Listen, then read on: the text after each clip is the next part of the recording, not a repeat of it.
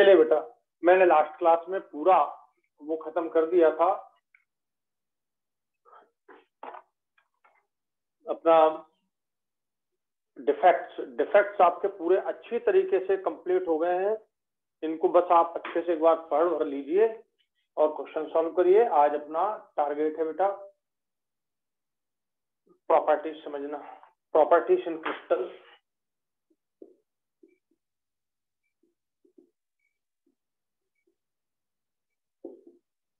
तो सबसे पहला magnetic property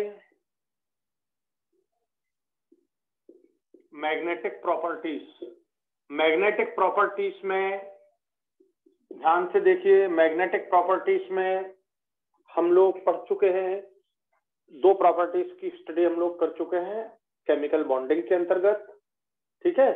ध्यान दीजिए। Paramagnetic property paramagnetism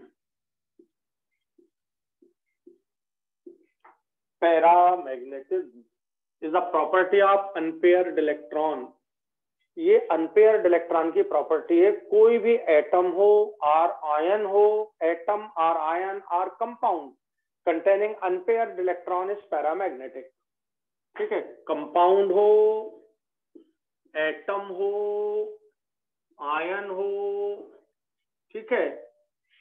Containing unpaired electron unpaired electron या उससे ज़्यादा हो। अनपेयर्ड इलेक्ट्रॉन ठीक है? Compound atom or ion containing unpaired electron are attracted towards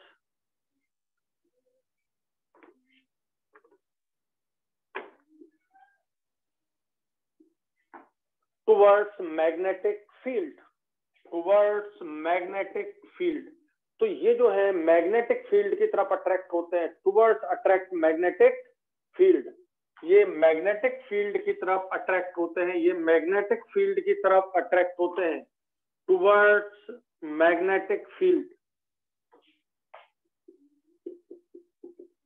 are called paramagnetic are called paramagnetic substance or paramagnetism तो एक बात तो आप ध्यान रखो कि अनपेयर्ड इलेक्ट्रॉन है।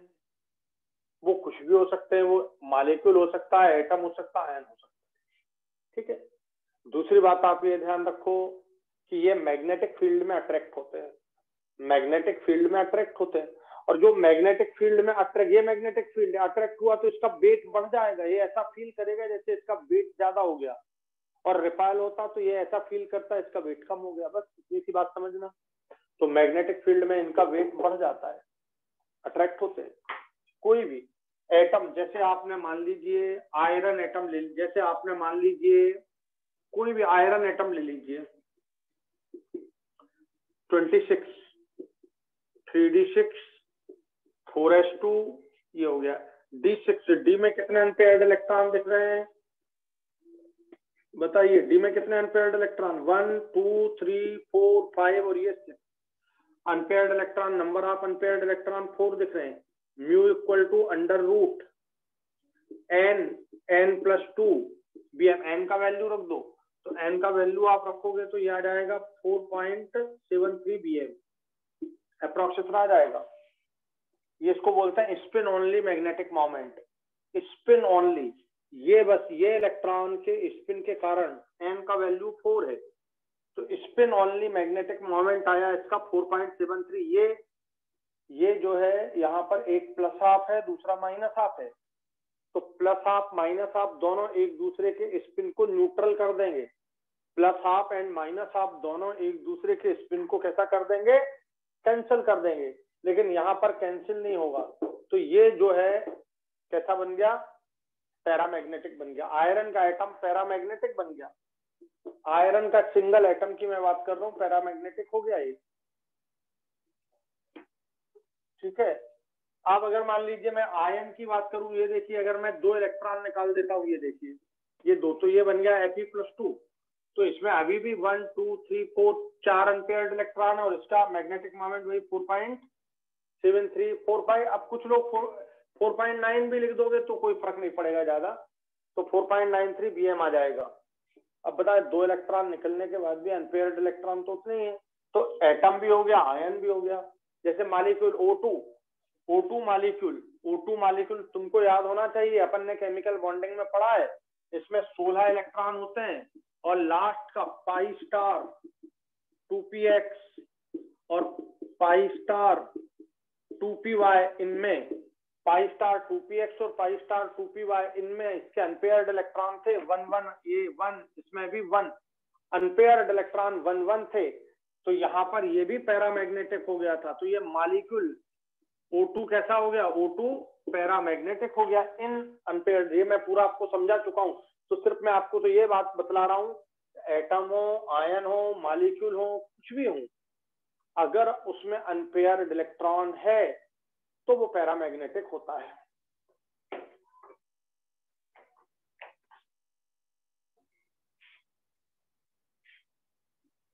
तो अनपेयर्ड इलेक्ट्रॉन यदि हैं तो पैरामैग्नेटिक हो जाता है। अनपेयर्ड इलेक्ट्रॉन यदि हैं तो पैरामैग्नेटिक हो जाता है। किसी चीज़ में एन का वैल्यू ज़ीरो हो सकता है वन हो सकता है टू हो सकता है थ्री हो सकता है फोर हो सकता है फाइव हो सकता है। ठीक है? तो ये N number of unpaired electron तो म्यू का value mu equal to under root N N plus two होता है।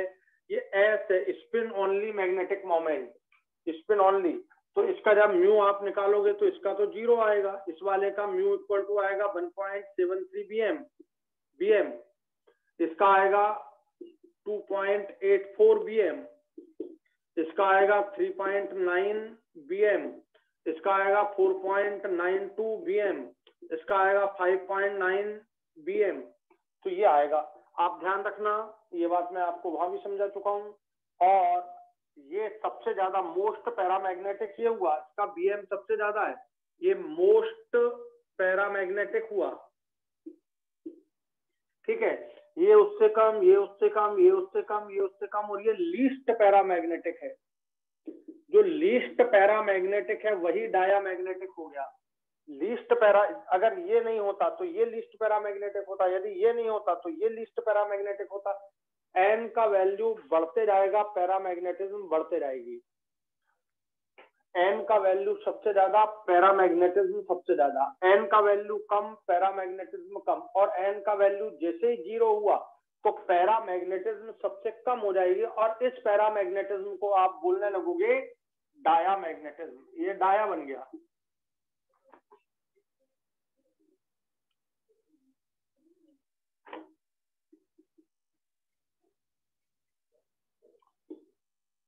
ये डाया मैग्नेटिज्म हो जाएगा। ज़ीरो जैसे हुआ तो डाया मैग्नेटिक हो जाएगा। अब आप इनके एग्ज़ाम्पल तो जितने चाहो उतने लिख सकते हो। लिख सकते हो कि नहीं इसके एग्ज़ाम्पल? जितने चाहो उतने लिख सकते हो। जैसे इसमें आप एम एन प्लस टू ले सकते हो एफ़ ई प्लस थ्री ले सकते हो, इसमें एम एन प्लस थ्री ले सकते हो एफ़ ई प्लस टू ले सकते हो। इसका इसका आप, जितना आप आपको बनाना हो three unpaired electron N I plus two ले लीजिए। एन आई प्लस टू ले लीजिए। इसमें टू अनपेयर्ड इलेक्ट्रॉन है। ठीक है? Three D eight N I plus three होगा यहाँ पे। या एन आई प्लस टू ले लीजिए। तो इस तरह से आप जितने एग्ज़ाम्पल बनाना चाहें बना सकते हैं। टाइटेनियम ले लीजिए। टाइटेनियम प्लस थ्री ले लीजिए। और म्यू ज़ीरो हो जाए तो वो हो जाएगा क्या? डाया मैग्नेटिक डाया मैग्नेटिक निकालना कैसे है? इलेक्ट्रॉनिक कॉन्फ़िगरेशन लिख करके। इलेक्ट्रॉनिक कॉन्फ़िगरेशन लिख करके निकालना है उसको। तो दूसरी प्रॉपर्टी है डाया मैग्नेटिक प्रॉपर्टी ये डायामैग्नेटिक माने एन का वैल्यू ज़ीरो हो जाए, माने ऑल इलेक्ट्रॉन्स आर पेयर्ड जब सारे इलेक्ट्रॉन ही पेयर्ड है, सभी इलेक्ट्रॉन पेयर्ड है तो एन का वैल्यू ज़ीरो हो गया तो म्यू का वैल्यू इसमें ज़ीरो हो जाएगा। ठीक है? बात समझ आ गई? जैसे आप स्कैंडियम स्कैंडियम ये होता है three D one four S two और इसमें प्लस थ्री आयन बना है तो ये इलेक्ट्रॉन दो निकले यहाँ से यहाँ से ये एक निकल गया। तो ये इलेक्ट्रॉन जब निकल जाएँगे तो ये बन जाएगा scandium plus three scandium plus three में एन का वैल्यू ज़ीरो हो जाएगा तो म्यू का वैल्यू ज़ीरो हो जाएगा। आपको तो कितने, दस हज़ार एग्ज़ाम्पल लिख लीजिए। ठीक है टाइटेनियम प्लस फोर टाइटेनियम होता है three D two four S two. अब प्लस टू तो ये भी निकालिए और ये भी निकालिए तो ये हो गया टाइटेनियम प्लस फोर तो एन का वैल्यू ज़ीरो हो गया म्यू का वैल्यू ज़ीरो हो गया। ठीक है Z N plus two three D ten four S two ये देखिए दो इलेक्ट्रॉन निकल गए इनका वैल्यू ज़ीरो हो गया तो म्यू का वैल्यू ज़ीरो हो गया। यहाँ डी टेन सारे इलेक्ट्रॉन पेयर है तो जब सारे इलेक्ट्रॉन पेयर्ड हो, कोई इलेक्ट्रॉन अनपेयर्ड ना हो, जब सारे इलेक्ट्रॉन पेयर्ड हो, कोई इलेक्ट्रॉन अनपेयर्ड ना हो तो हम कहेंगे डाया मैग्नेटिज्म ये लिख दिया मैंने। एन का वैल्यू ज़ीरो होना means all electrons are paired no unpaired electron no unpaired electron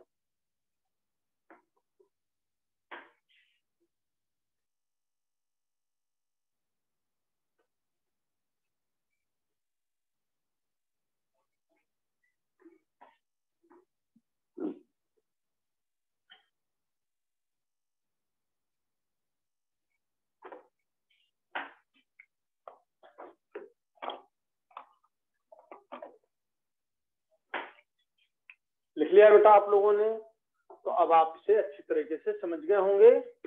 magnetic property diamagnetism और पैरामैग्नेटिज्म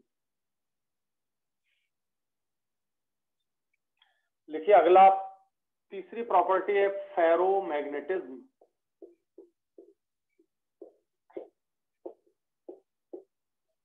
फेरोमैग्नेटिज्म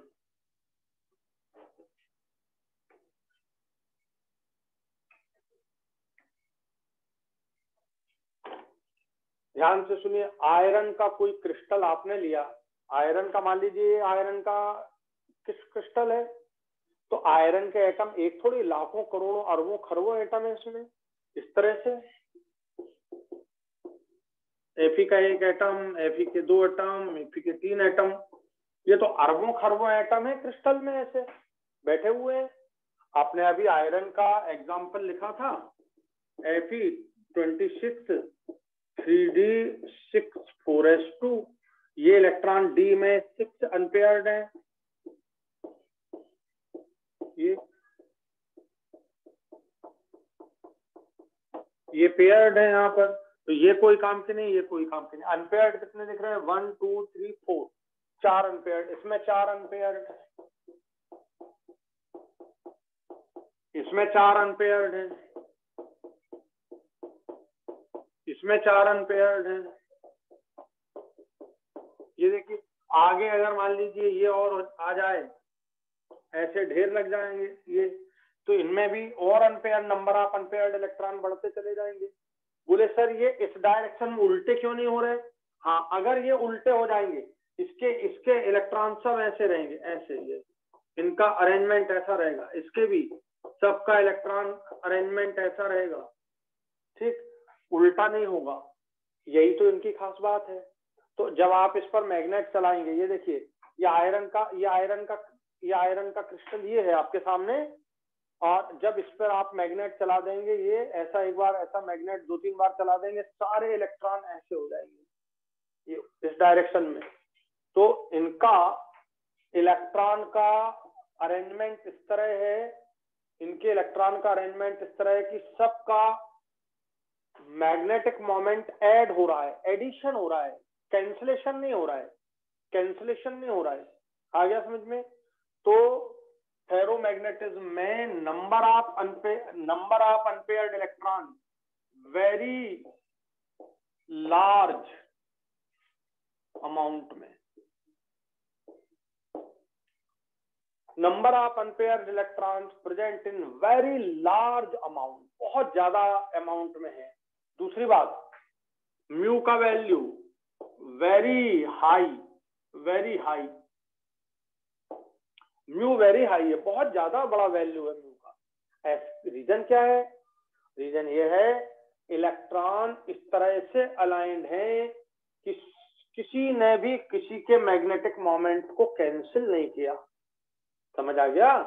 अरेंजमेंट इलेक्ट्रॉन का इस तरह है कि, किसी ने किसी के मैग्नेटिक मोमेंट को कैंसिल नहीं किया।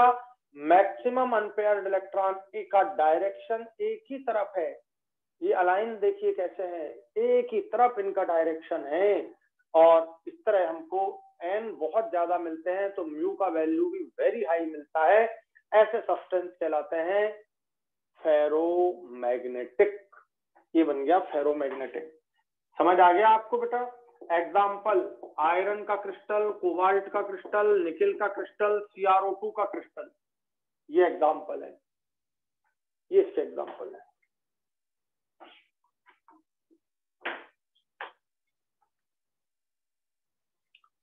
फेरोमैग्नेटिक सब्सटेंस को बहुत आसानी से मैग्नेटाइज किया जा सकता है. Ferromagnetic substance can be very easily magnetized इनको बड़े आसानी से मैग्नेटाइज्ड किया जा सकता है, इनके बड़े आसानी से मैग्नेट बनाए जा सकते हैं।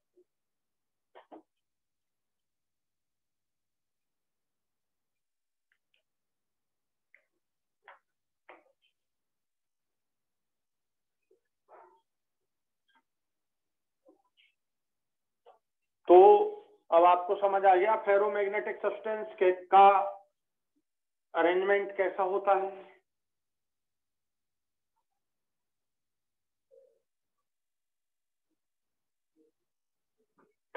देखिए anti ferro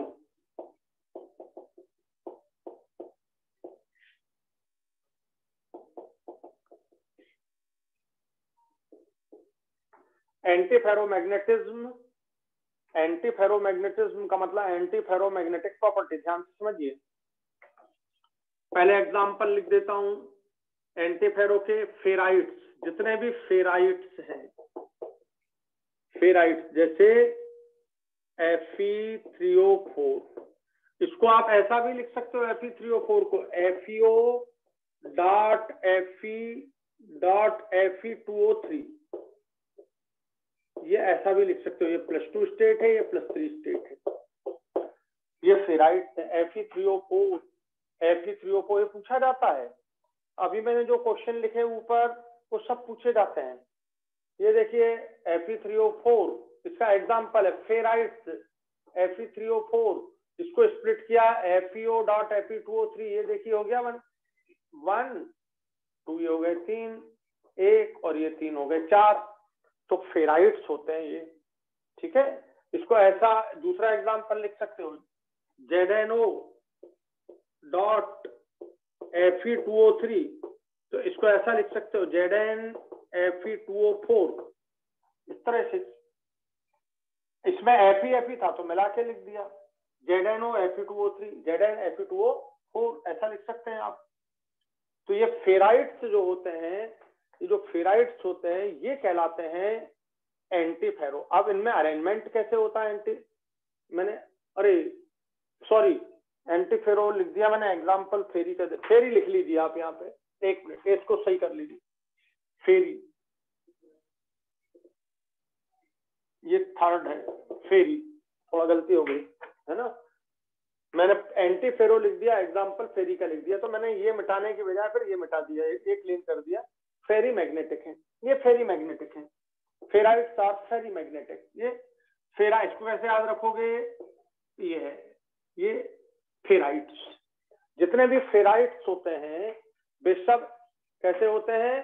फेरी मैग्नेटिक फेरी मैग्नेटिक होते हैं। इसमें जब इनका क्रिस्टल बनता है, और भी एग्जांपल ले सकते हो आप।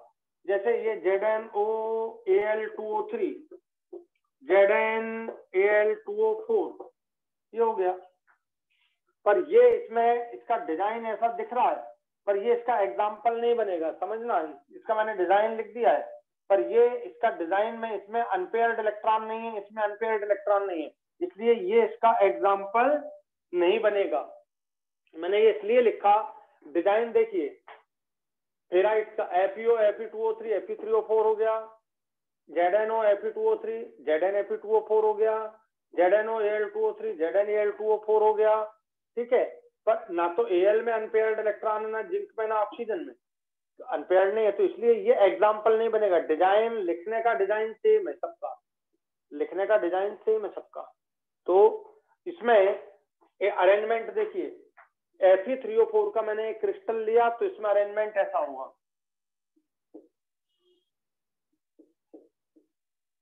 ये देखिए इलेक्ट्रॉन कैसे दिख रहे हैं? प्लस ऑफ़ प्लस ऑफ़ कुछ ऐसे आ गए ये। फिर ये एक ऐसा आ गया, फिर ये एक ऐसा आ गया, फिर ये आ गया, फिर ये ऐसा आ गया। फिर हो सकता है कि ये ऐसे आ जाए इस तरह से। तो यहाँ पर कैंसिल नहीं हो रहा। है यहाँ पर देखिए, ये कैंसिल हो रहा है। ये कैंसिल हो रहा है, ये प्लस हाफ़ है और माइनस हाफ़ है। यहाँ पर देखिए ये कैंसिल हो रहा है, ये प्लस हाफ़ है, ये माइनस हाफ़ है। यहाँ पर ये कैंसिल हो गया है, देखिए प्लस हाफ़ है माइनस हाफ़ है। पर यहाँ कैंसिल नहीं हुए, ये ये ये ये कैंसिल नहीं हुए। ये कैंसिल नहीं हुए। तो इसका आपको एन का वैल्यू उतना तो नहीं मिला जितना मैग्न फेरोमैग्नेटिज्म में एन का वैल्यू थोड़ा लो होगा। फेरोमैग्नेटिज्म में सारे वन, टू, थ्री सब के सब कैसे थे? सीधे थे सब के सब सीधे थे। एक ही डायरेक्शन में अलाइन थे। और ये कहा है? कुछ ऐसे भी हो गए ये देखिए। कुछ ऐसे इस तरह से हो गए। तो एन का वैल्यू लो हो गया। तो म्यू का वैल्यू क्या हो जाएगा? लो इसलिए इसको बोलते फेरी। फेरी का मतलब लो मैग्नेटिज्म फेरो का मतलब हाई मैग्नेटिज्म फेरी का मतलब लो मैग्नेटिज्म ठीक है? लो मैग्नेटिज्म और फेरो का मतलब हाई वाला मैग्नेटिज्म है वहाँ। तो यहाँ पर एन का वैल्यू पहले के रिस्पेक्ट में कम हो गया तो म्यू का वैल्यू भी कम हो जाएगा। म्यू बहुत कम मिलेगा आपको। तो ये इसके एग्ज़ाम्पल है दो। समझ आ गए दो एग्ज़ाम्पल और ये पैटर्न लिखने का सेम है। लिखिए जल्दी।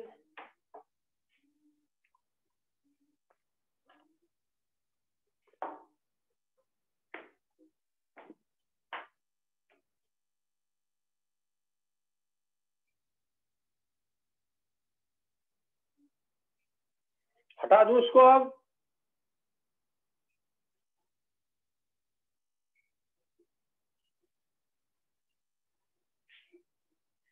तो भैया, ये क्वेश्चन आते हैं। जो मैं एग्ज़ाम्पल आपको दे रहा हूँ, वो एग्ज़ाम्पल एग्ज़ाम में पूछे गए हैं। वही एग्ज़ाम्पल मैंने आपको यहाँ दिए जो एग्ज़ाम में पूछे गए हैं। तो ये देखिए, अब मैं अगला लिख रहा हूँ एंटी फेरो जो पहले लिख दिया था गलती से। Anti anti ferro antiferromagnetism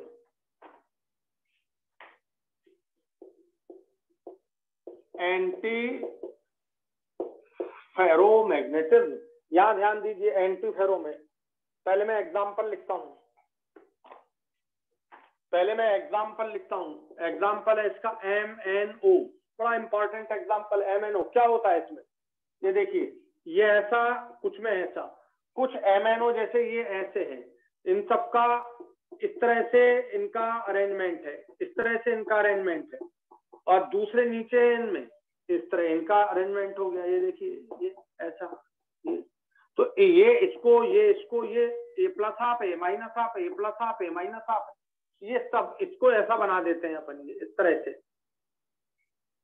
इस तरह से इसको बना देते हैं। ये।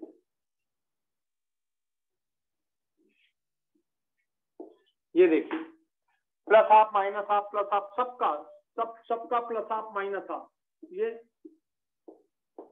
सबका प्लस आप माइनस आप स्पिन एक दूसरे के स्पिन को कैंसिल कर देगा।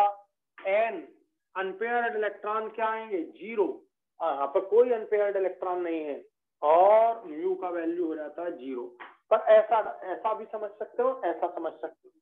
तो इसमें अरेंजमेंट पूरे सिस्टम में, पूरे सिस्टम में इलेक्ट्रॉन का अरेंजमेंट इस तरह का होता है कि सब एक दूसरे के मैग्नेटिक मोमेंट को कैंसिल कर देते हैं। इसका मैग्नेटिक मोमेंट इसने कैंसिल कर दिया। सब, ये इसको कैंसिल कर रहा है, ये इसको ये इसको कैंसिल कर रहा सब एक दूसरे के मैग्नेटिक मोमेंट को कैंसिल कर देते हैं और नेट मैग्नेटिक मोमेंट ज़ीरो ही मिलता है।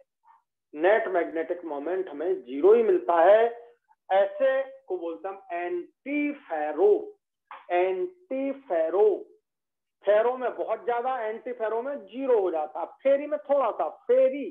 फेरी का मतलब होता है स्मॉल ठीक है?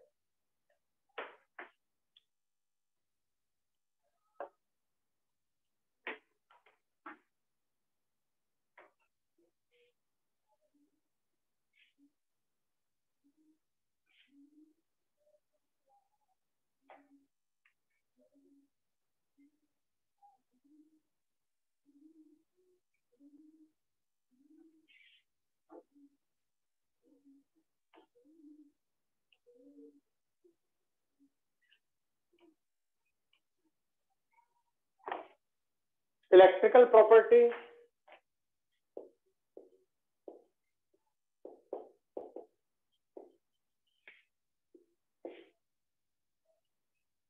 Electrical properties. Electrical property पर ध्यान देना बेटा। इलेक्ट्रिक, सारे मेटल इलेक्ट्रिकल कंडक्टर होते हैं। ऑल मेटल्स आर कंडक्ट ठीक है? इलेक्ट्रिसिटी थ्रू इलेक्ट्रॉन तो पहला metal metallic conductor electronic conductor होते हैं ये।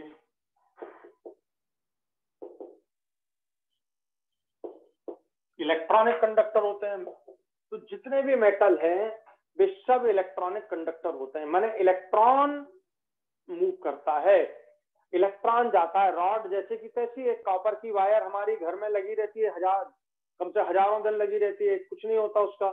चूहे हुए काट देते हैं तो खराब हो जाती है। तो कॉपर वायर डला हुआ है तो मेटल इलेक्ट्रॉन के थ्रू कंडक्टिविटी शो करता है। याद है सब लोग को ये बात? ठीक? तो इलेक्ट्रॉनिक कंडक्टिविटी होती है इसमें। दूसरा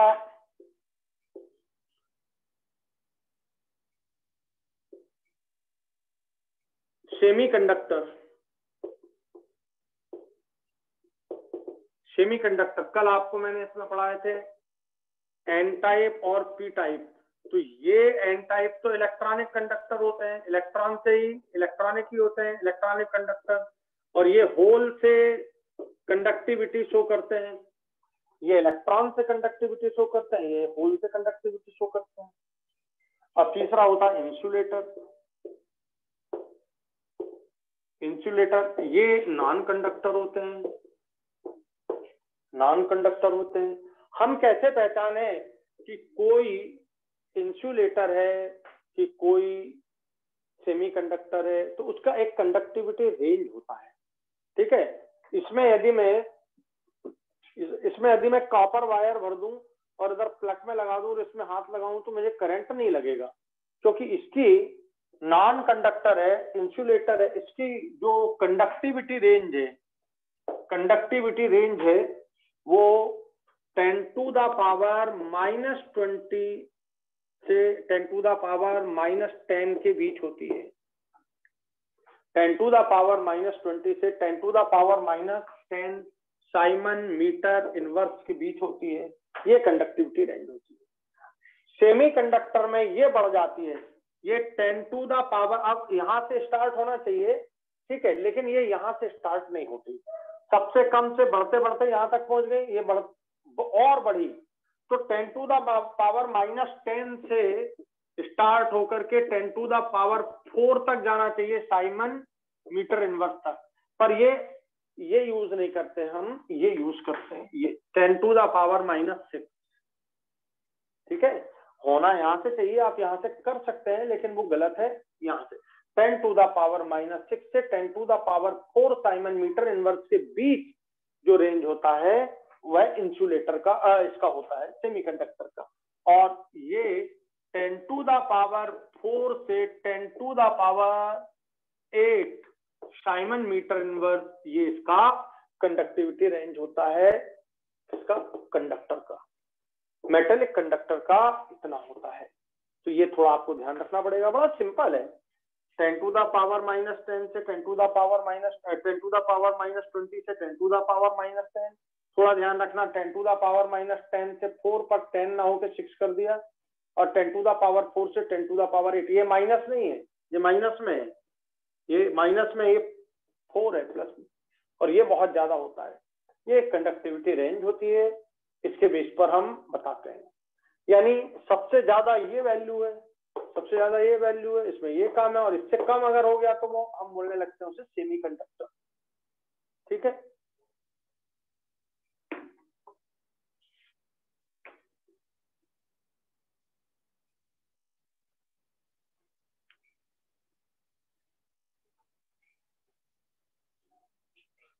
अब ये बहुत ज़्यादा क्यों है? तो इस बात को हमें समझना है।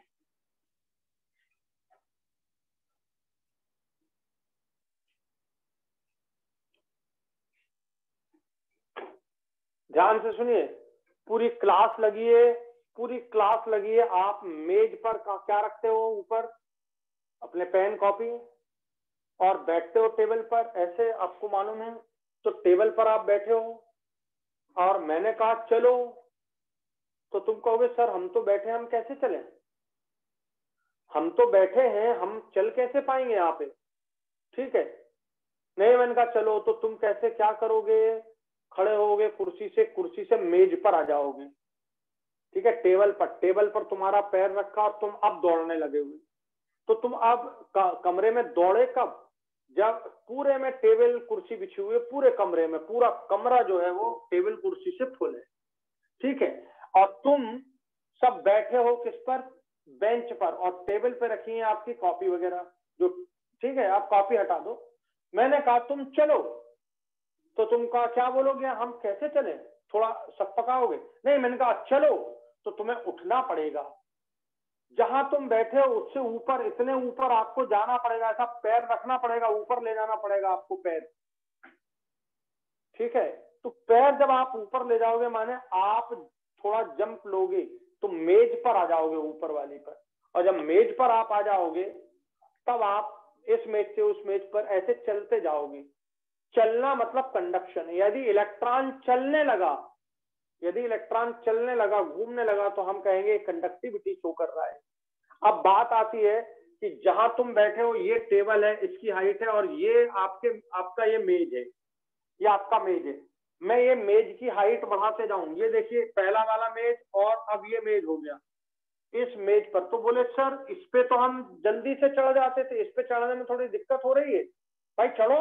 तो जो लंबे लंबे स्टूडेंट हैं, वो चढ़ गए और छोटे स्टूडेंट है, वो नहीं चढ़ पाए। और ये और मैंने ऊपर कर दिया तो लंबे स्टूडेंट भी क्या कहेंगे, सर, हम नहीं चढ़ पा रहे चल नहीं पाएँगे। तो अंतर कहाँ आया? इस हाइट का। यदि ये हाइट कम है तो सब के सब चले जाएँगे ऊपर मेज पर और सब दौड़ने लगेंगे। ये हाइट थोड़ी ज़्यादा कर दी। तो ये बन गया सेमी कंडक्टर वो ही चढ़ पाए जो थोड़े ऊँचे चढ़ सकते थे, और इस पर तो कोई भी नहीं चढ़ पा रहा है। बहुत मुश्किल, एक आध कोई चढ़ गया तो चढ़ गया। उससे कोई फ़र्क होना नहीं। है तो ये हाइट की बात होती है, यही आपको समझना है कंडक्टिविटी में देखिए।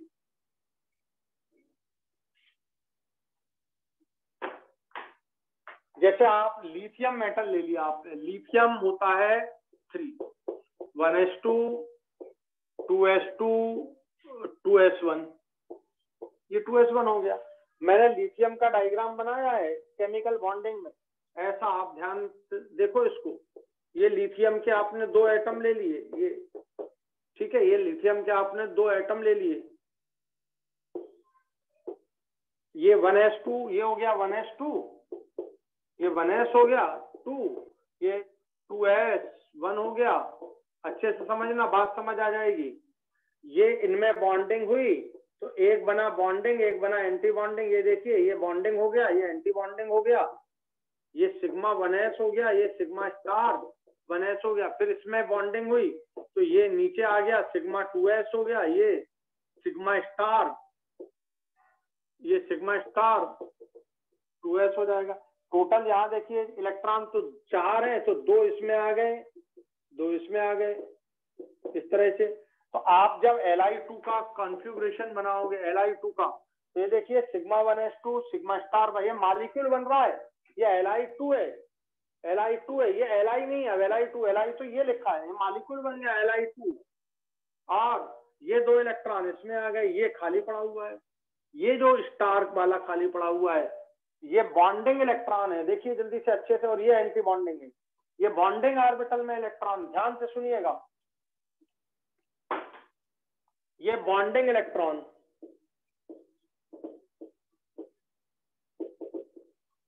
ये बॉन्डिंग ऑर्बिटल है, कौन सा सिग्मा टू है? और ये anti bonding anti bonding orbital है। अपन ये एनर्जी गैप बनाते हैं, ये ये एनर्जी गैप हो गया इनका, ये और ये एनर्जी गैप हो गया, इतना ही, ये एनर्जी गैप एनर्जी गैप ये जो बॉन्डिंग ऑर्बिटल है, ये बैलेंसी सेल में है। इसको बोलते हैं अपन, इसका इन दूसरा नाम है वैलेंसी बैंड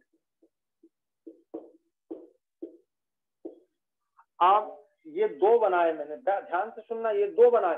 तीन, चार, पाँच, छह, सात, आठ, नौ, सैकड़ों मालिक्यूल मिलकर के क्रिस्टल बनाएँगे तो इनका एक बैलेंसी बैंड तैयार होगा।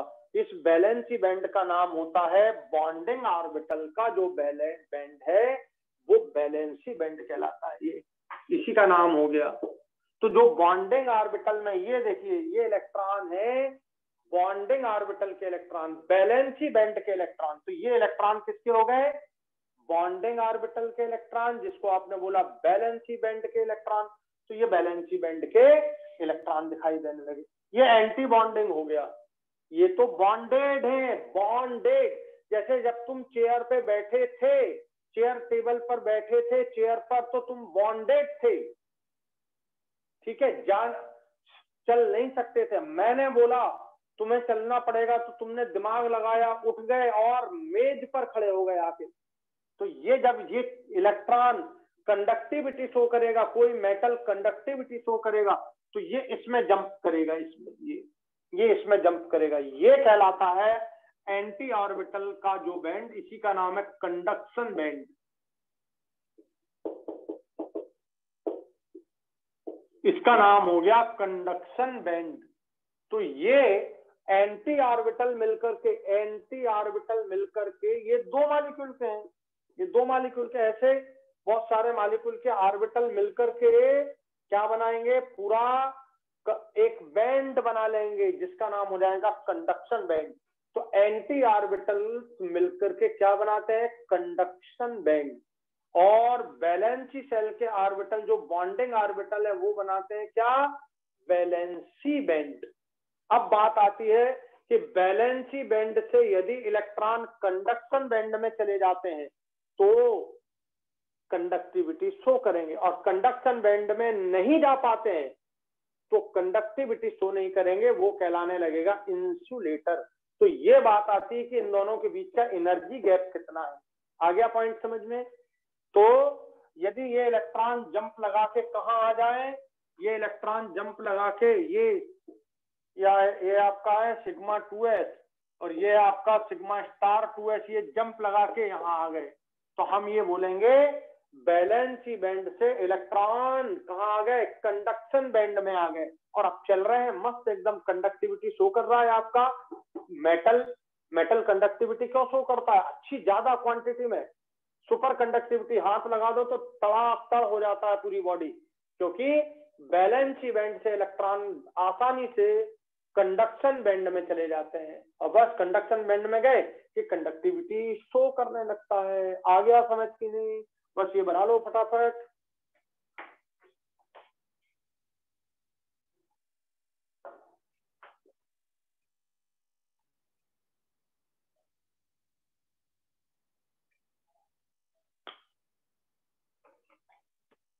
बस ये गैप जो है, ये एनर्जी गैप जो है, जिसको अपन एनर्जी गैप बोलते हैं, इसी का नाम है बैंड गैप। इसी का नाम है बैंड गैप। बैंड गैप क्यों? ये इसका नाम भी बैलेंस बैंड है, इसका नाम भी बैंड है, ये बैलेंस ही बैंड है, ये कंडक्शन बैंड है। तो बैंड दोनों बैंड के बीच का जो डिस्टेंस है, जो दूरी है, जो डिस्टेंस है, वो कहलाता है बैंड गैप बैंड गैप का मतलब समझ आ गया।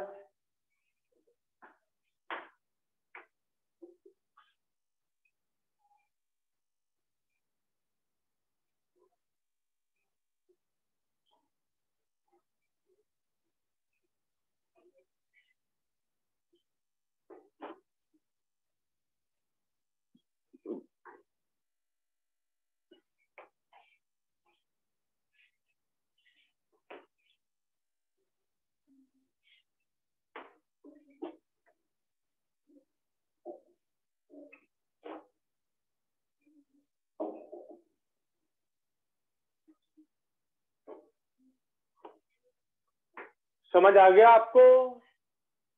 समझ आ गया आपको?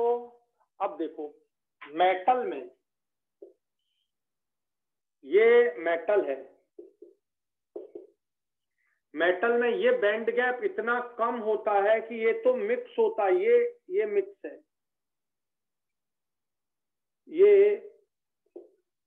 ये बहुत सारे इलेक्ट्रॉन बहुत सारे इलेक्ट्रॉन जो हैं, वो आसानी से ये आपका है वैलेंसी बैंड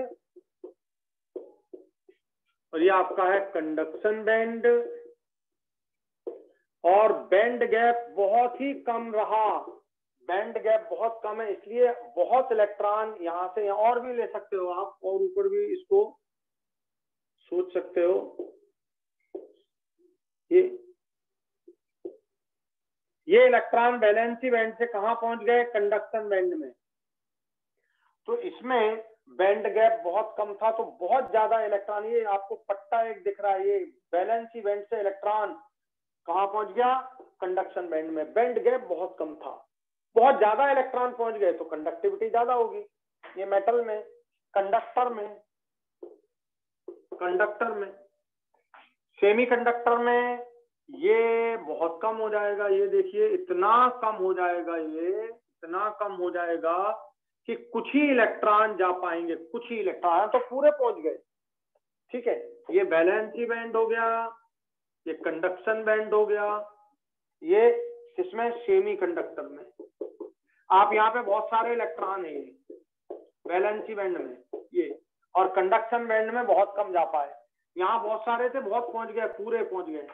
यहाँ पर ये इंसुलेटर में इंसुलेटर में ये कोई नहीं पहुँच पा रहा है वहाँ पर। तो यहाँ पर बहुत सारे थे, एक आध कोई पहुँच पाया। यहाँ पर अपन थोड़ा बढ़ा देते हैं, एक आध और बढ़ा देते हैं, बस। तो ये बैलेंस कंडक्शन बैंड ये और ये बैलेंसी बैंड अब बताओ, ये डिस्टेंस क्या है? बहुत ज़्यादा बैंड गैप इसमें बैंड गैप बहुत ज़्यादा, इसमें बैंड गैप कम है इसमें बैंड गैप सबसे कम है। तो बहुत आसानी से ये चले गए। आपको समझ आ गया? तो बैंड गैप का ऑर्डर क्या हो गया? मेटल में बैंड गैप इसमें बैंड गैप सबसे कम होता है। सेमी कंडक्टर में बैंड गैप और ज़्यादा होता है। और इंसुलेटर में इंसुलेटर में बैंड गैप सबसे ज़्यादा होता है। इतना ज़्यादा बैंड गैप है कि यहाँ से इलेक्ट्रॉन जा ही नहीं पाए। तो ये थोड़ा ध्यान रखना। एग्ज़ाम्पल आपके सामने silver metal copper metal iron metal semiconductor germanium ठीक है जर्मेन सिलिकन वगैरह। इसमें एन और पी की डोपिंग एन और पी की डोपिंग इंसुलेटर जैसे wood plastic wood plastic rubber rubber ठीक है?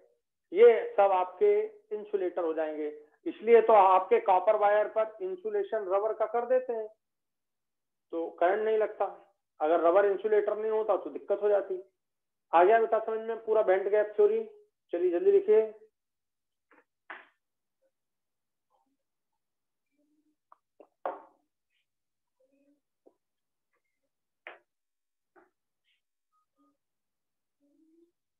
चले हटाए इसको।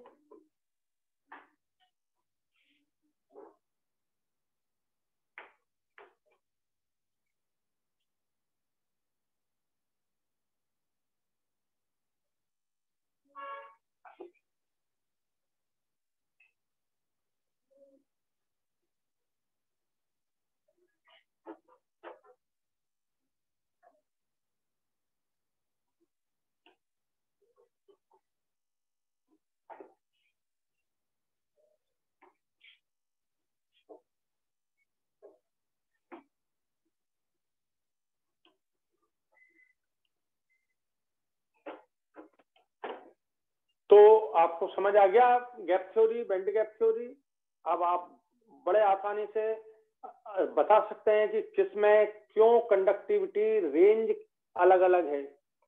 इंसुलेटर में ten to the power minus ten से ten to the power minus twenty, क्योंकि गैप इतना है कि वहाँ इलेक्ट्रॉन जा ही नहीं पाया। तो कंडक्टिविटी ऑलमोस्ट नेग्लिजिबल हो गई, minus ten to the power minus ten minus twenty कितना कम समझ आ गया बेटा?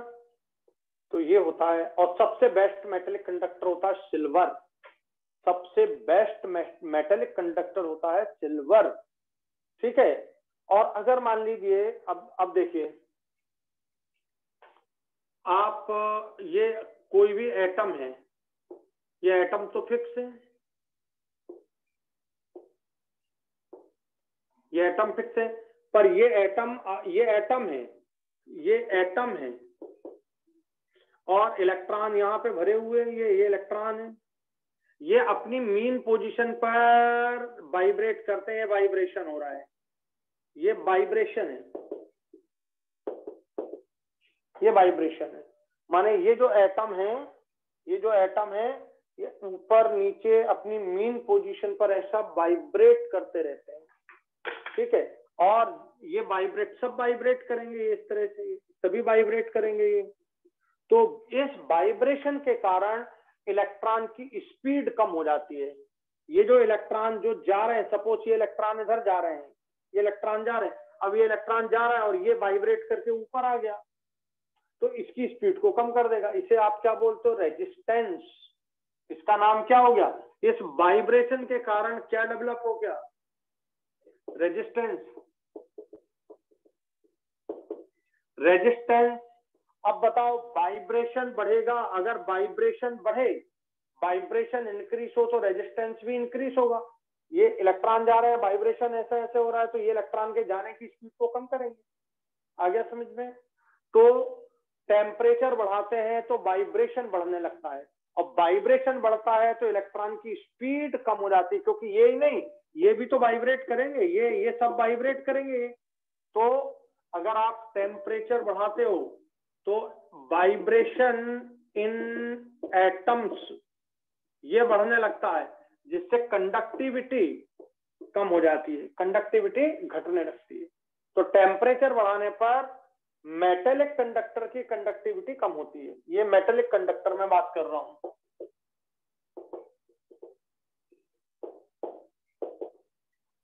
मेटेलिक कंडक्टर को यदि आपने यहाँ पे आयरन जैसे आप गर्मियों के दिन में जब हमें ज़्यादा बिजली की ज़रूरत है तो रेजिस्टेंस बढ़ जाता है। क्यों? तो एटम्स में वाइब्रेशन होने लगता है। ठीक है? और इस वाइब्रेशन के कारण क्या बढ़ जाता है? वाइब्रेशन के कारण रेजिस्टेंस बढ़ता है। टेम्परेचर बढ़ाइए वाइब्रेशन बढ़ेगा वाइब्रेशन बढ़ेगा तो पहले रेजिस्टेंस लिख लो, और अच्छा रहेगा। रेजिस्टेंस बढ़ेगा रेजिस्टेंस बढ़ेगा। जब रेजिस्टेंस बढ़ेगा तो कंडक्टिविटी कंडक्टिविटी घटने लगेगी। तो टेम्परेचर बढ़ाने पर ये मेटेलिक कंडक्टिविटी कम होती है। इलेक्ट्रोलाइटिक कंडक्टिविटी बढ़ती है, उल्टा है। इलेक्ट्रो अपन ने वहाँ कंडक्टेंस कहाँ पर? Lambda M lambda equivalent temperature बढ़ाने पर वहाँ बढ़ता है। क्यों? क्योंकि इंटर आयनिक अट्रैक्शन कम होता है बॉन्ड आसानी से टूटने लगते हैं।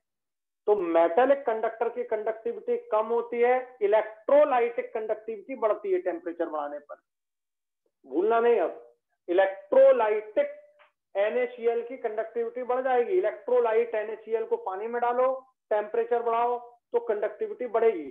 तो electrolytic conductivity increase with temperature ठीक है? While metallic conductivity decrease with temperature ये रीजन है आपका।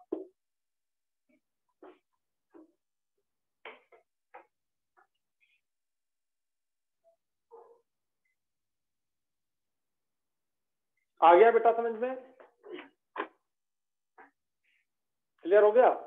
अब जरा सोचो।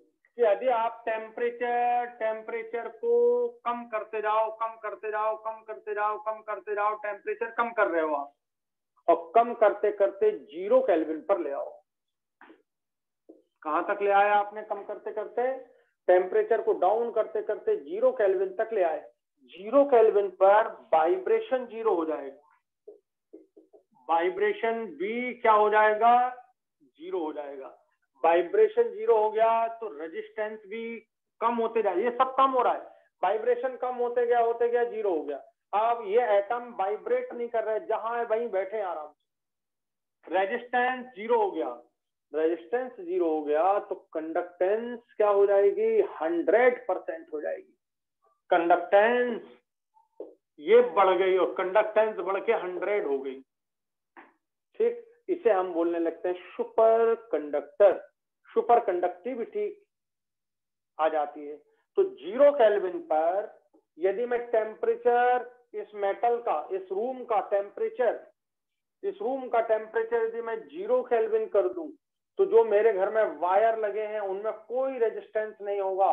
ज़ीरो रेजिस्टेंस हो जाएगा। क्यों? क्योंकि वाइब्रेशन ज़ीरो हो जाएगा। तो रेजिस्टेंस ज़ीरो हो गया, और रेजिस्टेंस ज़ीरो हो गया तो कंडक्टिविटी बहुत तेज होगी। हंड्रेड परसेंट इसे हम बोलने लगते हैं सुपर कंडक्टिविटी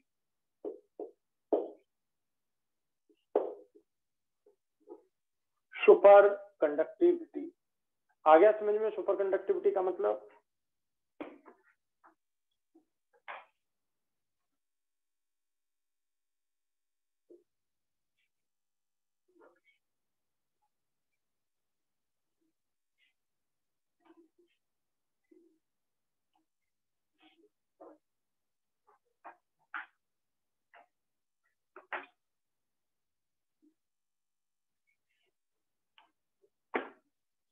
तो यह सुपर कंडक्टिविटी होती है। सुपर कंडक्टिविटी का एक आध एग्ज़ाम्पल देख लेना अलग अलग वो तो टेम्परेचर अलग अलग रहेगा। मान लीजिए कोई जो है वो चार कैलविन पर ही आ गया, कोई दस कैलविन पर आ गया, कोई सौ कैलविन पर आ गया सुपर कंडक्टर तो वो अलग अलग टेम्परेचर पर अलग अलग जो है वो सुपर कंडक्टर हो सकते हैं। रूम टेम्परेचर पर अभी तक कोई ऐसा सुपर कंडक्टर नहीं बना है। मेटल के कुछ डी ब्लॉक और एफ़ ब्लॉक मेटल के ऑक्साइड मिलकर के सुपर कंडक्टर बनाए हैं, पर वो इतने महँगे हैं और उनके वायर को वायर तरह से बनाना थोड़ा टफ है। इसलिए नहीं तो अगर वो सुपर कंडक्टर बन जाए तो अपनी इलेक्ट्रिसिटी की प्रॉब्लम बहुत कुछ कम हो जाए।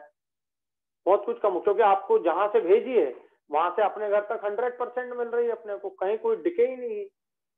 सुपर कंडक्टिविटी में डिके नहीं है। चलिए तो ये आपको ध्यान रखना है। अब एक होता, अब कुछ, जैसे अपन ने पढ़ा ferro magnetism ferri magnetism anti ferro magnetism इस तरह से कुछ एक दो प्रॉपर्टी हैं इलेक्ट्रिकल की। वो एनसीआरटी में तो नहीं है, पर अपन उनको लिख लेते हैं, वो सिंपल है, मैं आपको समझाता हूँ। पीजो इलेक्ट्रिसिटी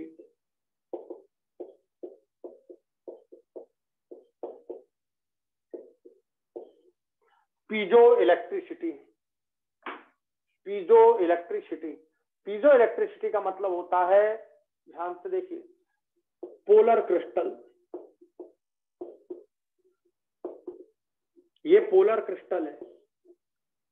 ठीक है? इस पोलर पीजो इस पोलर क्रिस्टल पर हमने प्रेशर अप्लाई किया। प्रेशर का दूसरा नाम mechanical stress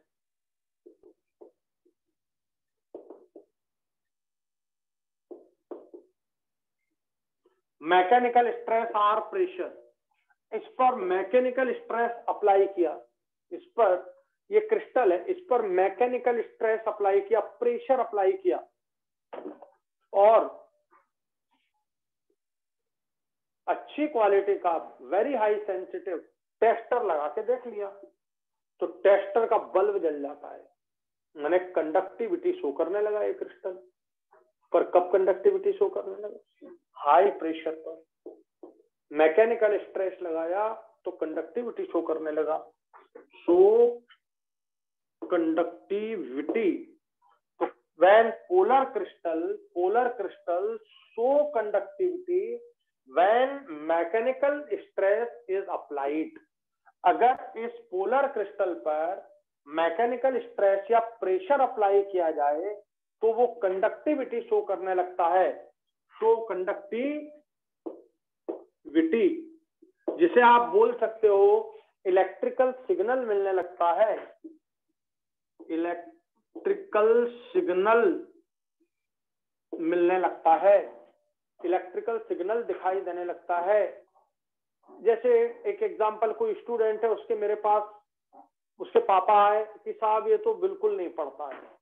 कितने बोलो, कुछ भी करो, ये नहीं पढ़ता है। अब मैंने स्ट्रेस दिया उसे, मैकेनिकल स्ट्रेस, कि मैं तेरा रोज टेस्ट लूँगा दस मिनट का, दस में से दस मिनट का टेस्ट है, दस क्वेश्चन, दस में से छह तो सही होने ही चाहिए तेरे। स्ट्रेस आ गया। तो पढ़ते हुए दिखाई देने लगा पापा को। पापा का फ़ोन आया। ये तो पढ़ाई कर रहा है, पढ़ाई के सिग्नल दे रहा है। मैंने कहा, मैंने इस पर क्या अप्लाई कर दिया? प्रेशर इसको प्रेशर में ले लिया मैंने टेस्ट के। समझ आ गया? तो when pressure or mechanical stress is applied on the polar crystal it shows electrical conductivity this इस कंडक्टिविटी का नाम, ये जो कंडक्टिविटी आपको दिख रही है, ये कंडक्टिविटी का नाम है पीजो इलेक्ट्रिसिटी प्रेशर देने पर जो इलेक्ट्रिसिटी मिलती है हमको, वो कहलाती है पीजो इलेक्ट्रिसिटी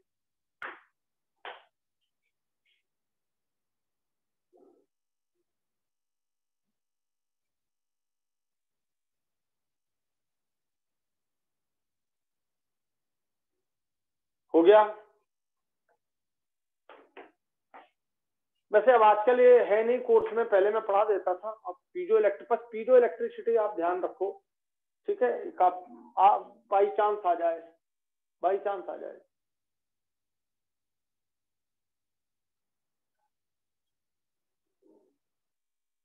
उल्टा, पीजो इलेक्ट्रिसिटी का, उल्टा कर दो anti piezo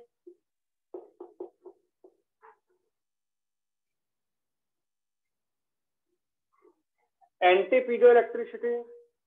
Anti piezo electricity का मतलब ये उल्टा हो गया कि ये जो पोलर क्रिस्टल है, आपने ये जो क्रिस्टल लिया, पोलर क्रिस्टल जो है, इसको रख दिया आपने इलेक्ट्रिक फ़ील्ड में। ये इलेक्ट्रिक फ़ील्ड में रख दिया इसको। इलेक्ट्रिक फ़ील्ड में रख दिया। तो इसको स्ट्रेस आ जाएगा, मैकेनिकल स्ट्रेस क्रिएट हो जाएगा। इसमें मैकेनिकल स्ट्रेस क्रिएट हो जाएगा।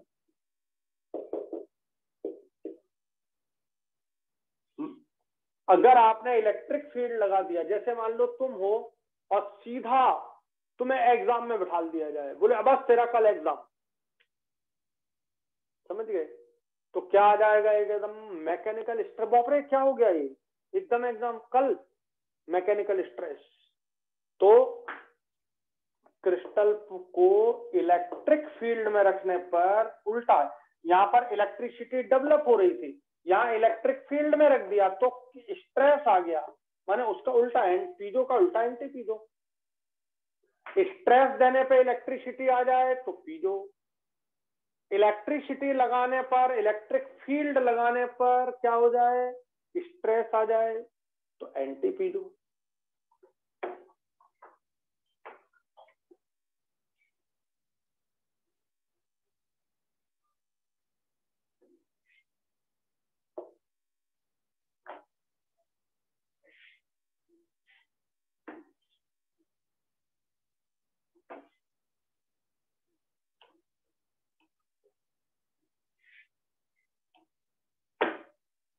समझ आ गया? तो ये इस तरह से आप एक आध दो, अभी भी तो कोर्स में नहीं है, मिलते नहीं है अभी एनसीईआरटी वगैरह में नहीं नहीं तो मैं पहले पढ़ा देता था, फेरो इलेक्ट्रिसिटी फेरी इलेक्ट्रिसिटी वगैरह एंटी फेरी, फेरो, अब ज़रूरत नहीं है।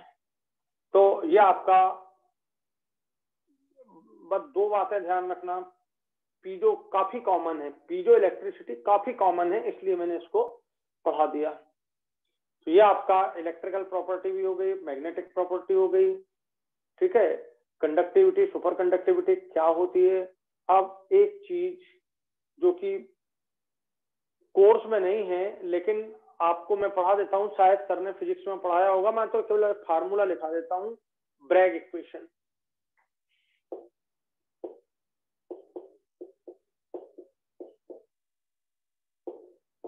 ब्रैक्स लॉ है केमिस्ट्री में नहीं है, लेकिन कभी क्वेश्चन आ जाए तो उस हिसाब से मैंने अपना काम करने के लिए आपको बोल दिया। N lambda equal to two d sine theta अब पहले तो मैं डी वगैरह बहुत सारे पढ़ाते, पढ़ाता था, पूरा डी पूरे plane Miller indices vice indices mirror plane कैसे बनते हैं प्लेन उनके बीच का डिस्टेंस कैसे कैलकुलेट करोगे एवरीथिंग पता नहीं कितना तो वो सब पढ़ा देता था मैं।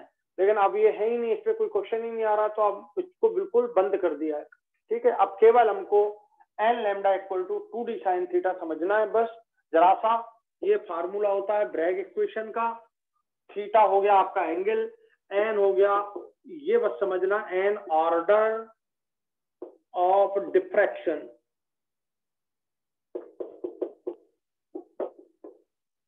यदि आपको बोला जाए first order first order diffraction. तो एन का वैल्यू वन बस ये देख लेना, फ़र्स्ट ऑर्डर दिया है। क्वेश्चन में दिया रहता है for the first order diffraction n का value one second order diffraction second order diffraction तो एन का वैल्यू एन हमें परेशान करता एन नहीं समझ आता। तो बस मैंने आपको कई बार ये बोल दिया फ़र्स्ट ऑर्डर डिफ्रेक्शन का मतलब एन का value one second order diffraction का मतलब एन का वैल्यू टू बस ये बात ध्यान रखना क्वेश्चन में ही दिया रहेगा for the second order diffraction of the crystal तो आपको एकदम समझ आ गया एन टू है। लेमडा का मतलब lambda is the wavelength of x ray जो आप एक्सरे यूज़ कर रहे हो, उस एक्सरे का वेवलेंथ ठीक है? डी डी का मतलब होता है दो प्लेन का डिस्टेंस ये देखिए, ये ये दो प्लेन है। ये प्लेन और ये प्लेन ये दो प्लेन के बीच का ये जो डिस्टेंस है distance between two parallel plane तो ये प्लेन और ये प्लेन पैरेलल प्लेन हो गया। Distance between two parallel plane दो पैरेलल प्लेन के बीच का डिस्टेंस ठीक है? ऐसे प्लेन बने हुए हैं ये। भाई क्या रहता है यहाँ पे? यहाँ क्या है? एटम है, यहाँ क्या एटम है, यहाँ क्या एटम ये एटम है। तो एटम एक एक लाइन ये बनाई, एक लाइन ये बनाई, एक प्लेन ये बनाया, दूसरा प्लेन ये बनाया। तो हम ऐसे ये एटम बना देते हैं सब ये। ये एटम है। ये ये पैरेलल प्लेन से ये प्लेन हो गया, ये प्लेन हो गया, ये प्लेन हो गया। इनके बीच का जो डिस्टेंस है टू पैरेलल प्लेन के बीच का डिस्टेंस जी हो गया। और साइन थीटा आप जानते हो थीटा एंगल है जो आपका एक्सरे से डिफाइन होगा। थीटा एंगल तो कभी आपको क्वेश्चन आ जाए तो आप इसे सॉल्व कर सकें न्यूमेरिकल ज़्यादा से ज़्यादा या तो लेमडा पूछा जाएगा या डी पूछा जाएगा। डी दिया जाएगा तो लेमडा लेमडा दिया जाएगा तो डी पूछा जाएगा। तो ये ध्यान रखना।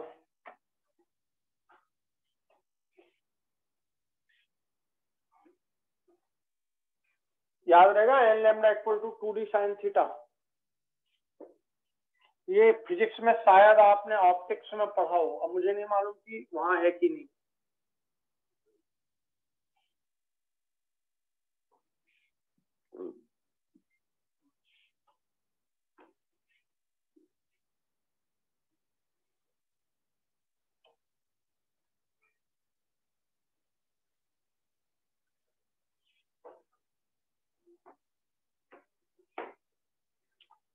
तो यहाँ तक की पूरी बातें आपको समझ आ गई? यहाँ तक की पूरी बातें आपको समझ आ गई?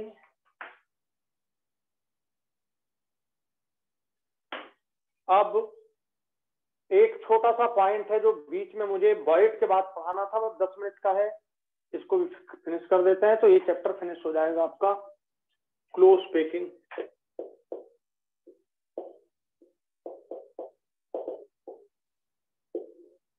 टॉपिक है क्लोज स्पेकिंग हम इन एटम्स को, हम इन एटम्स को इस तरह से अरेंज कर रहे हैं, ये ये अरेंज कर दिए, ये अरेंज कर दिए, ये आपका कॉर्नर पर, ये कॉर्नर पर, ये फेस पर दिख रहा है ऐसा, ठीक है?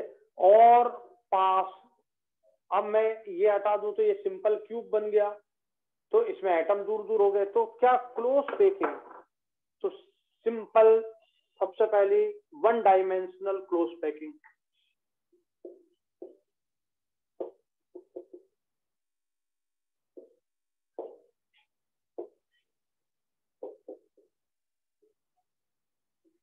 one dimensional close packing one dimensional close packing का मतलब सिर्फ़ ये होता है कि एटम एटम केवल एक लाइन में अरेंज हो, केवल एक रो एटम का अरेंज हो, केवल एक रो इस तरह से ये रो अरेंज होते जाए और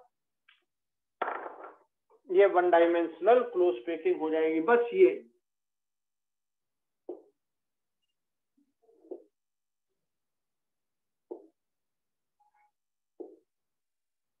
ये, एक रॉड लिया, ये इनके सेंटर हैं। ये इनके सेंटर एक रॉड लो और इनके सेंटरों को मिलाते हुए ये रॉड निकाल दो ये। ये आपका ये आपका कहलाया one dimensional close packing simple है। तो वन डायमेंशनल क्लोज पेकिंग एक रॉड के इलाम सब एटम्स को हमने सीधा अरेंज कर दिया, केवल एक रॉड दो भी नहीं, तीन भी नहीं, केवल एक बस। तो ये हो गया वन डायमेंशनल क्लोज पेकिंग अब इसमें क्वेश्चन आता है किसी भी एटम का ये एटम ले लिया आपने, इसका कोऑर्डिनेशन नंबर कितना है? कोऑर्डिनेशन नंबर बताइए। तो एक इधर जुड़ा है एक इधर जुड़ा है दो एटम टच कर रहे हैं, यहाँ पर ये टच कर रहा है, यहाँ पर ये टच कर रहा है। तो बताइए, दो एटम टच कर रहे हैं नंबर आप टचिंग एटम को आप क्या बोलते हो? कोऑर्डिनेशन नंबर तो वन डायमेंशनल क्लोज पैकिंग में किसी भी एटम का कोऑर्डिनेशन नंबर कितना होता है? टू और वन डायमेंशनल क्लोज पैकिंग किसे कहते हैं? बताइए, बस ये स्फीयर आप अरेंज करते जाइए और एक लाइन में बस अरेंज कर दीजिए। तो वो कहलाती है वन डायमेंशनल क्लोज पेकिंग बनाइए।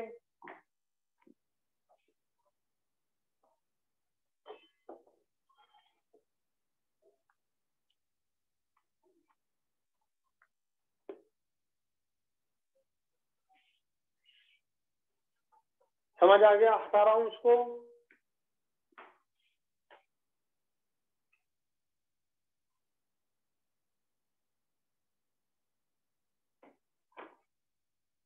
Two dimensional close packing two dimensional close packing यहाँ देखिए, ये टू डायमेंशनल का पहला पॉइंट आपको समझा रहा हूँ, ये इस तरह से।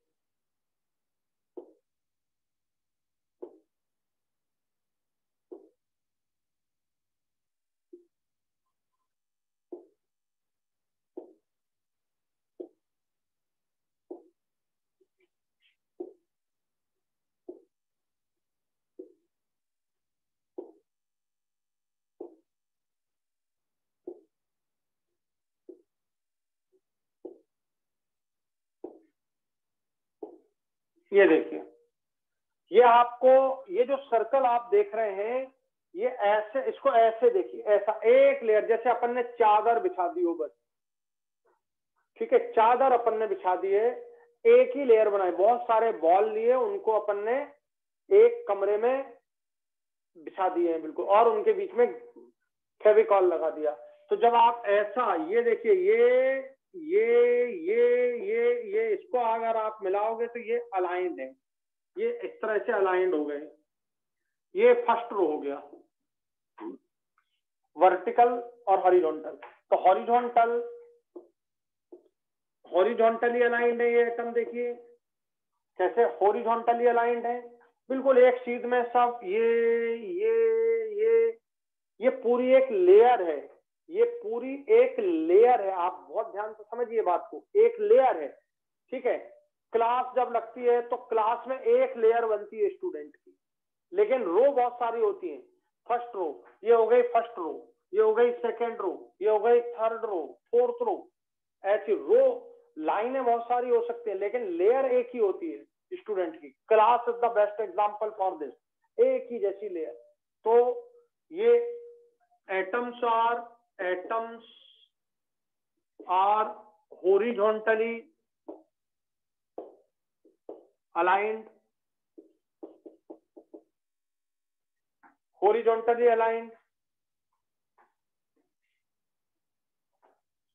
ये देखिए ऐसा भी इसको अगर आप यहाँ से ऐसी यहाँ से एक लाइन डालें ये तो ये सारे एटम ये सारे एटम ये ये ये वर्टिकली अरेंज हो गए। Atoms are vertically aligned vertically aligned हो गए।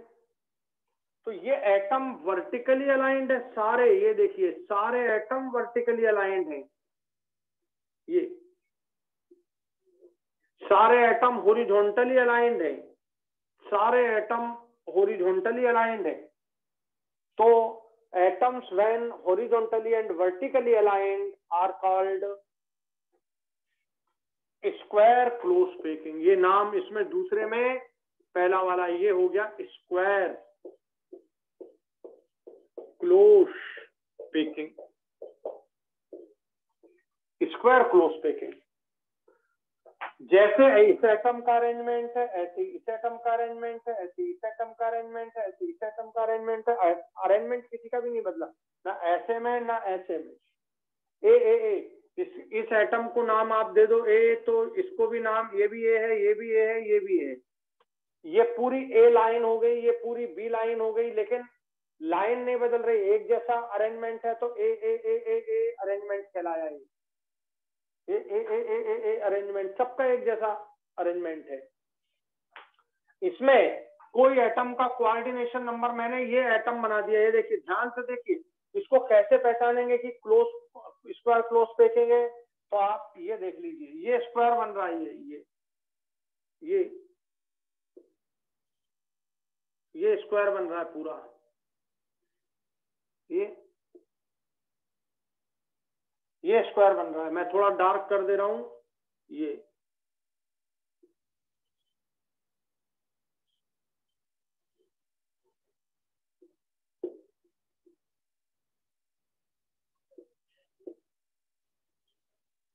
ये स्क्वायर बना। इस एटम का स्क्वायर के सेंटर में जो एटम है, ये वाला एटम ले लिया मैंने, ये ये वाला एटम इस एटम का कोऑर्डिनेशन नंबर कितना है देखिए। इस एटम का कोऑर्डिनेशन नंबर ये एटम इसको टच कर रहा है, पहला नंबर का, ये फ़र्स्ट ये टच नहीं कर रहा, ये टच कर रहा है, दूसरा वाला, ये टच नहीं कर रहा, ये कर रहा है टच ये टच नहीं कर रहा, ये कर रहा है टच ये नहीं टच कर रहा है कितना कोऑर्डिनेशन नंबर हो गया इसका? वन टू थ्री फोर चार एटम टच कर रहे हैं। जिसको चार एटम टच करें, वो स्क्वायर क्लोज पेकिंग हो जाएगी। तो इसका, इस एटम का कोऑर्डिनेशन नंबर फोर तो बोले, सर इस एटम का, इसका भी फोर है। इसका भी फोर है। One two three four four four ही कोऑर्डिनेशन नंबर है। बनाइए जल्दी। ये स्क्वायर वाइड कहलाई। ये जो वाइड आपको दिख रही है, ये ये खाली जो, ये ये जो वाइड है, ये स्क्वायर वाइड हो गई। स्क्वायर वाइड हो गई।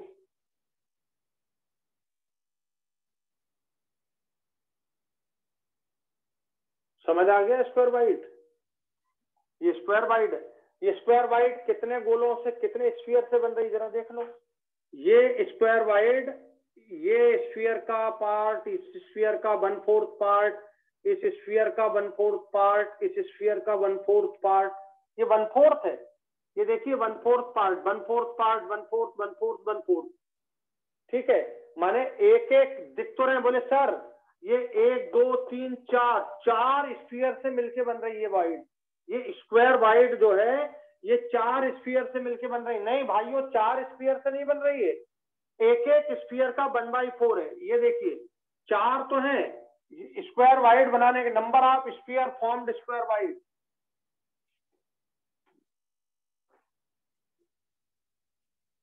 यहाँ लिख देता हूँ। Number of sphere number of sphere एक square void for making one square void number of sphere for making one square void ये देखिए, एक स्क्वायर वाइड बनाने के लिए। बोले, सर, ये स्क्वायर वाइड बनाने के लिए एक, दो, तीन, चार स्क्वायर चाहिए। बिल्कुल चाहिए चार, ये लिख दिए मैंने चार। लेकिन ये वाला तो ये वाली वाइड भी बना रहा है, ये देखो, ये वाला स्क्वायर तो ये वाली भी बना रहा है, इधर भी बना रहा है, इधर भी बना रहा है। इसका मतलब क्या? इस, इसका केवल वन बाई फोर्थ इसका वन बाई फोर्थ पार्ट ही आया, इसका भी वन बाई फोर, इसका भी वन बाई फोर, इसका भी वन बाई फोर तो ये वन बाई फोर पार्ट है into one by four. Equal to one यानी एक स्क्वायर वाइड इक्वल टू एक स्फीयर एक नंबर ऑफ़ स्फीयर ये नंबर ऑफ़ वाइड एक स्फीयर एक वाइड को बना रहा है। उल्टा एक वाइड एक स्फीयर को बना रही है। उल्टा भी करके देख लेना। ये वाइड कितने स्फीयर को बना रही है? चार को बोले, नहीं सर, एक, दो, तीन, चार को बना रही नहीं, चारों का one by four one by four one by four बना रही है। तो per void one sphere one sphere per void ठीक है? एक स्पीयर के लिए एक वाइड है। एक वाइट के लिए एक स्पीयर है, आप करके देख लो, ये सामने है आपके। One four one four one four one four. Four into one by four तो ये बन गई। तो इस तरह से कभी क्वेश्चन आ जाए तो आप पहचान लो। तो ये स्क्वायर क्लोज पेकिंग कहलाती है। कौन सी पेकिंग कहलाती है? स्क्वायर क्लोज पेकिंग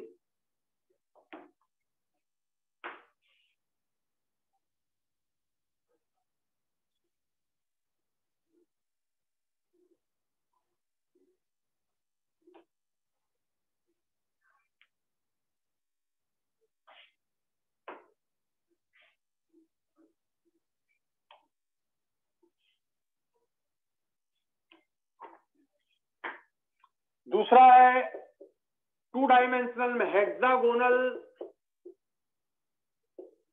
क्लोज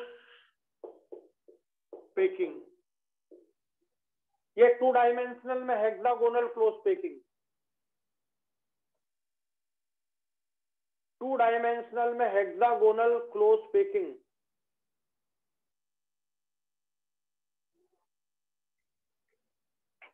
ये देखिए।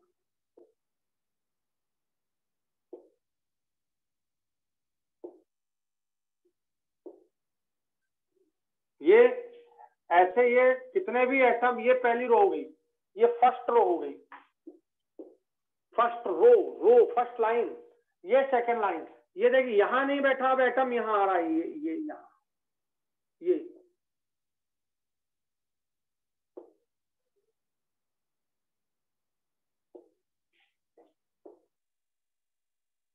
ये यहाँ आ रहा है। ये सेकंड लाइन हो गई। ये थोड़ा अब स्पीयर मुझसे थोड़े बराबर तो बन नहीं सकते हैं। एग्जैक्ट बराबर बनाना बड़ा कठिन है। ये थर्ड लाइन ये देखिए थर्ड लाइन ये इधर, ये थर्ड लाइन ये थर्ड लाइन ये थर्ड लाइन ये फ़र्स्ट लाइन ये सेकंड लाइन ये थर्ड लाइन ये फोर्थ लाइन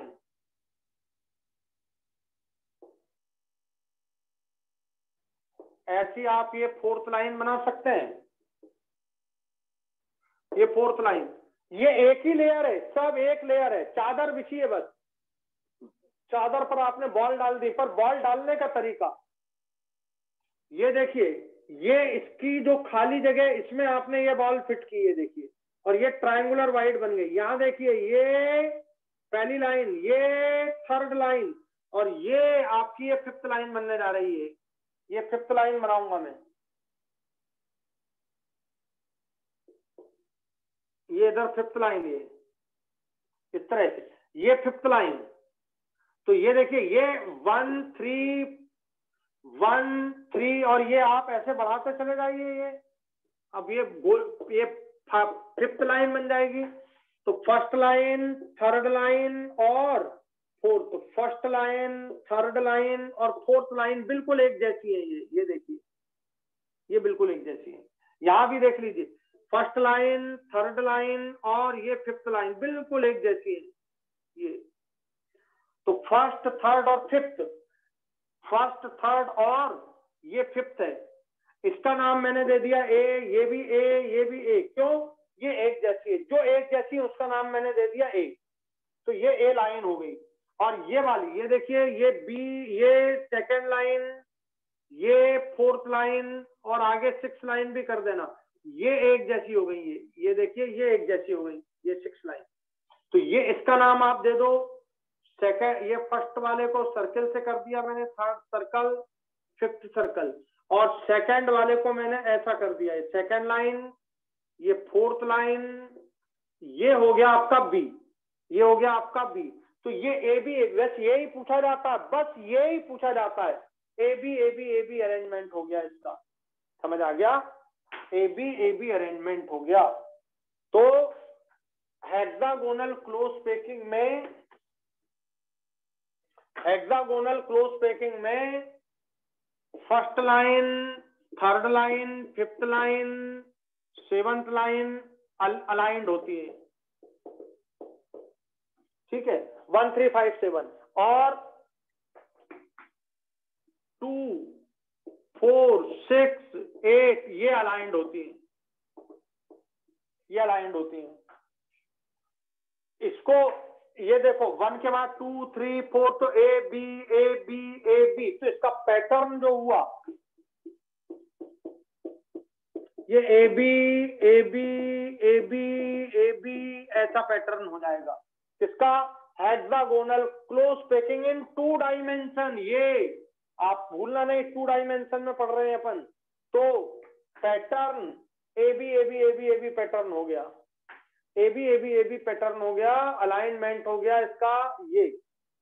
ये अलाइंड है, ये अलाइंड है।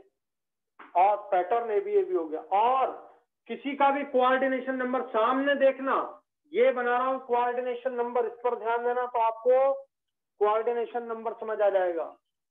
ये इसका कोऑर्डिनेशन नंबर ये देखिए ये एटम ये ये ये ये और ये। ये देखिए हेक्सागोन बन गया। ये बन गया हेक्सागोन इसका आप इसका ए, ए, वो निकाल रहे हैं कोऑर्डिनेशन नंबर तो इसका कोऑर्डिनेशन नंबर कितना हुआ? सिक्स ये देखिए। ये one two three four five six atom touch कर रहा है। कोऑर्डिनेशन नंबर इसका सिक्स हो गया। और ये जो वाइड बनी है, ये ये जो वाइड बनी, ये ट्राइगोनल वाइड बनी। मुझे ट्राइगोनल वाइड का, ये बता number of sphere for making one trigonal void ये कैलकुलेट करके बताना मुझे कल। ठीक है? ये जो ट्राइगोनल वाइड बनी नंबर ऑफ़ स्पीयर कितने इसको बनाने में पार्टिसिपेट कर रहे हैं। उल्टा भी करना number of sphere per void number of void per sphere दोनों चीज़ें निकालना number of void per sphere number of sphere per void तो ये आप सॉल्व करके कल रखना, कल जरा सा और रह गया क्लिप कल पढ़ाएँगे। कोऑर्डिनेशन नंबर ये, आप इससे ध्यान रखना, ये टू डायमेंशनल में सेकेंड नंबर पर ये पढ़ा रहा हूँ। टू डायमेंशनल कल मैं पढ़ाऊँगा थ्री डायमेंशनल ठीक है? और द पंद्रह बीस मिनट का है मुश्किल से। ठीक है आप लोग रुकोगे नहीं इसलिए मैं छोड़ रहा हूँ। ये वैसे ही आप क्या मैं बोलूँ आप लोग की स्थिति। आज की क्लास समझ आ गई आप लोग को सबको? यस सर आज की ये क्लास यस सर आज की Yes, sir. देखें ये टू डायमेंशनल में दो हैं स्क्वायर और हेक्सागोनल अलग अलग जब क्वेश्चन टू ये है इंपॉर्टेंट नहीं तो गड़बड़ कर दो। सबसे पहली चीज़ टू डायमेंशनल मैं कोऑर्डिनेशन नंबर सिक्स है। और बोले सर आपने तो बताया था कि ट्वेल्व होता है तो कल अपन पढ़ेंगे थ्री डायमेंशनल में। चलिए थैंक यू वेरी मच जय हिंद जय भारत। और आज नौ वर्ष की शुभकामनाएँ सब लोग को मेरी तरफ़ से। आप Same to you, sir. आपको भी सर आपको भी आप स्वस्थ रहे मानसिक शारीरिक सभी स्वास्थ्य आपका बना रहे और आप अच्छे से एग्ज़ाम दें और सिलेक्ट हो जाएँ अच्छे डॉक्टर बने बस ये मेरी आपसे भगवान से आपसे प्रार्थना है ठीक है अच्छा काम Thank करें. देश Thank के you, sir. देश के देश के हित में हमेशा देश के हित में हमारा काम होना चाहिए हमारा बस thank you very much thank you. Thank you, sir. Thank you, sir.